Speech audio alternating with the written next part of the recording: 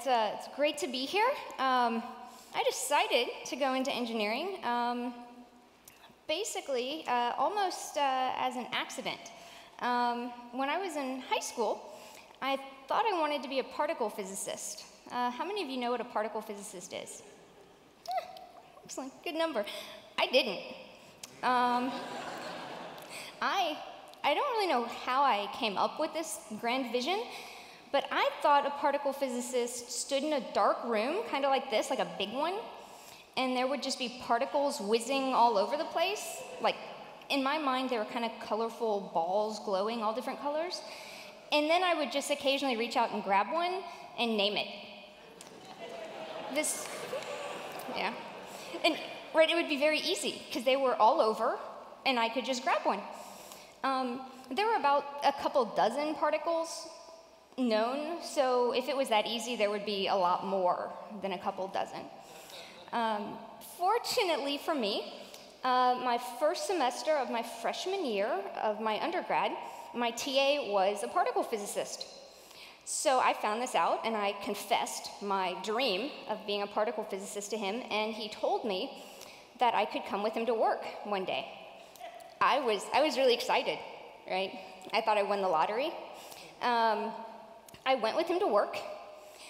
I decided I did not want to be a particle physicist. Um, it, it involved looking through reams and reams and reams of data. And this was a long time ago, so the reams were on a computer screen that was black with the green text. Um, and looking for little tiny anomalies in the data and hoping you found one, and then if you found one, hoping that that was a particle and not just some sort of spurious signal from the detector. Um, so, in my naivete, I asked him why he didn't just get a better detector, right? This, this should be easy. Um, and he said, Why don't you go build one? so I was like, Oh, okay, right? I'm 18. I'm like, This sounds, it's a challenge. And he's like, okay, this detector costs like $50 million. I was like, so perhaps not. so I, I decided I would go find a new dream. You know, I'm like third week now of my freshman year. So I start wandering around the physics building, knocking on doors, you know, saying, What do you do? Professors love it when you do that, by the way. They, they really love it. Um, I discovered two things. Uh, there weren't any girls' bathrooms in the physics building. that knowledge served me well over the next four years. Um, I also discovered I didn't necessarily like any of the experiments that they were doing, but I really liked all of their equipment and their instrumentation. And I discovered that I could make a huge contribution to science and engineering by making all of their equipment and instrumentation better. Kind of like building a better detector for all the particle physicists, though I haven't quite contributed there yet. I'm working on it. It's, it's near the bottom of my list. Um, yeah, they were mean to me. Um, yeah, uh, it's good to be nice to people. Um, so that's, that's what I decided to embark on. Um, so I found a dream. And building instruments and building equipment is one thing that engineers do. So that's why I say it's kind of an accident that I decided to become an engineer, because my, my first goal was far from that. Um, but building instruments and building equipment is kind of sounds very, very vague. Uh, my parents tell me that as well. Um, so one example of an instrument that everyone knows is a microscope. You know, the, the first microscope, you know, was built in the late 17th century. It looks very, very different from microscopes of today. Um, the one that many of you may be familiar with is, you know, kind of the big white thing. You put cells on it. You can watch them wiggle around a little bit. Um, you can look at insects. You know, this is why I chose the microscope. It has lots of pretty pictures. Um, so you can look at insects. You can look at coral. Um, you can look at, this is an example of a fossilized dinosaur bone. Um, and you can look at cells. So this is a group of uh, HeLa cells. So because of all the different colors, you can actually see the structure of the cells, see where the, the nucleus is, see how all the cells interact. And because you can take video on microscopes, you can actually see cells grow. Um, however, in the you know, early 20th century, a new type of microscope called an electron microscope was born. Um, so instead of using photons to image, you actually use electrons. Uh, so you can get higher resolution, you can actually see things uh, much, much finer detail. So this picture, even though it looks very, very grainy and noisy, you can actually see the poliovirus. So being able to understand the structure of something is critical to being able to understand its function, because without structure and function, you can't understand how to combat something. And being able to create the polio vaccine is obviously incredibly important. And this is another SEM or TEM image, so electron microscope image, showing viruses attacking an E. coli cell. So even though it looks kind of like they're just ringing around and forming this very, very nice, pretty image, what's actually going on is a virus has something that's like a needle-like projection, and it actually injects its RNA into the cell, and that's how the cell gets sick. So by taking an image like this, you can actually see the virus attaching on the outside of the cell, and researchers could understand exactly how that happened.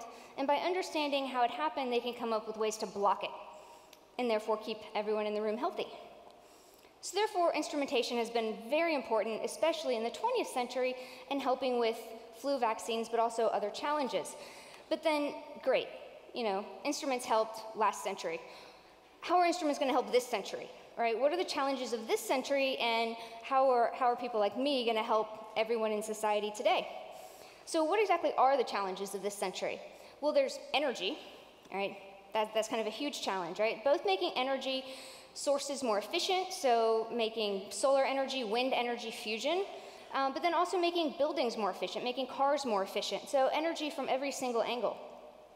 There's also clean water and uh, cyber infrastructure and physical infrastructure, making cyberspace more secure and making uh, our buildings more predictably failureable would be the best word. Um, so basically, every building and every bridge at some point is going to fail.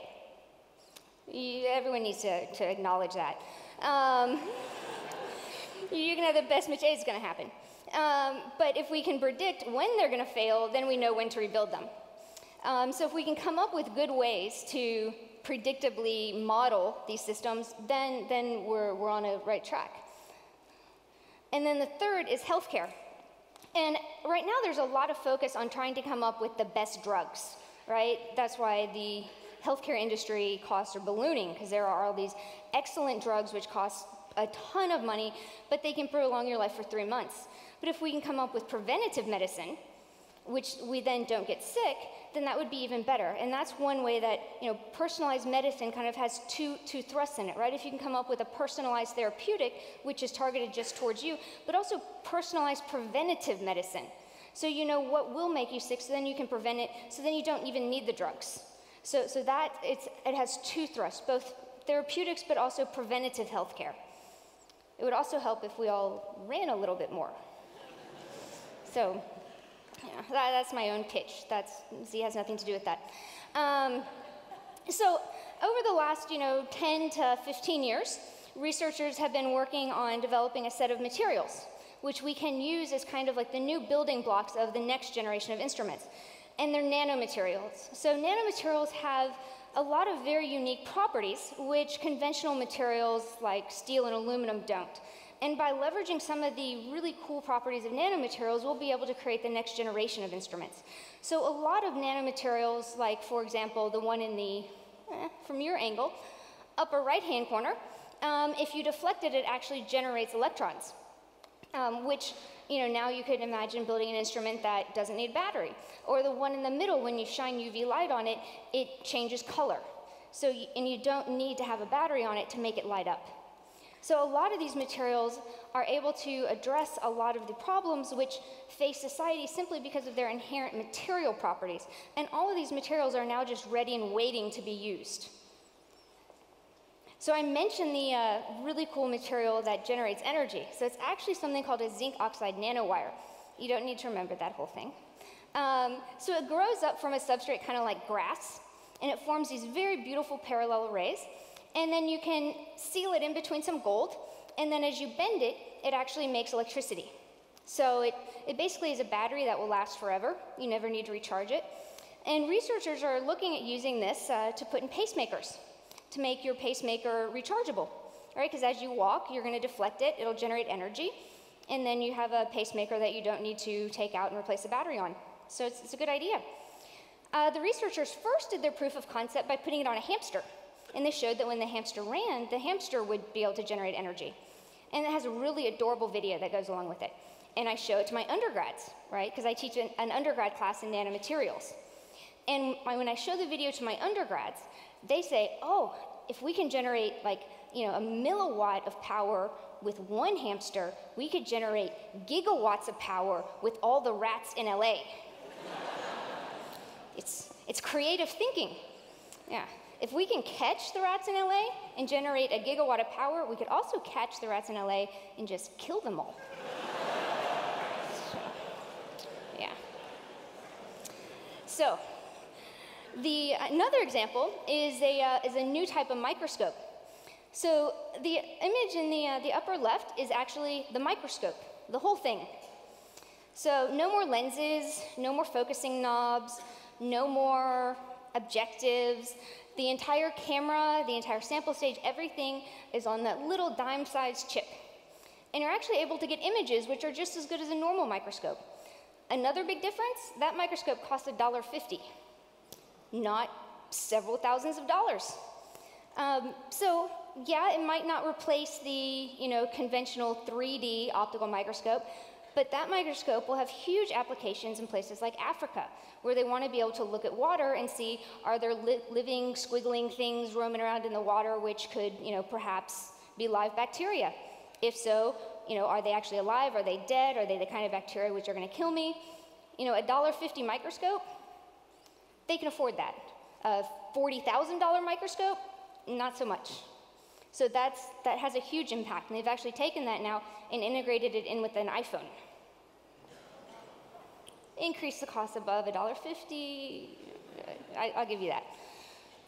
Okay, so the, the last example um, is something that's allowing researchers to actually push it past the single cell and single virus limit. We're now looking at single proteins and single DNA strands. So being able to look at individual cells and individual viruses will allow us to study, you know, the structure of a virus or the structure of a cell, but a cell can have a couple thousand to a million molecules in it, and they're all interacting kind of like a small city. And it's very hard to understand how each of those proteins are interacting with each other and how that communication pathway can affect the overall behavior of a cell. So researchers really are interested in studying how protein A affects behavior of protein B and how protein B later on can affect the behavior of protein C and understanding all of those complex signaling pathways and cascading behavior, which can, in the end, one signaling protein can come into a cell and initiate a hundred different pathways, which could in the end either kill a cell, make it stronger, make it replicate, initiate all kinds of changes. So researchers are now beginning to develop new types of instruments which actually have this capability and which are really going to play a key role in preventative medicine. So I hope I've given you just a little glimpse of what's kind of on the horizon. Um, and there are a lot of resources which are sponsored by your tax dollars, so you should take advantage of them. Um, so one of them is the uh, National Academy of Engineering Grand Challenges website, also the Office of Science and Technology policy, which they're the people that advise the president. Um, and then the National Nanotechnology Initiative, which is all about nano all the time. Thank you very much.